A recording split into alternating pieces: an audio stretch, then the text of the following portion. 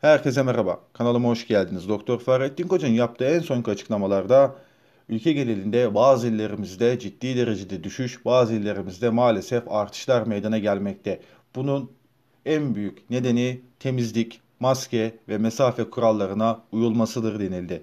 Ve 7 tane ilimizden bahsedildi. Bu 7 tane ilimiz ise Aydın, Ankara, Afyon, Çorum, Ardahan, Denizli ve Manisa. Bu 7 tane ilimizde özellikle %20'ye varan vaka artışlarında düşüş, hastane doluluk oranlarının %50 civarında seyretmesi, yoğun bakım doluluk oranlarının ise %55'in altına düştüğü iller arasında yer alan bu 7 tane ilde ciddi derecede özellikle Ankara'da, Manisa'da ve Denizli'de yoğun bakım yataklarında kısmi derecede boşalmalar görüldüğü dikkate çekmiş durumda var ve bunun da güzel gelişme olaraktan ifade edildiği yapılan açıklamalarda.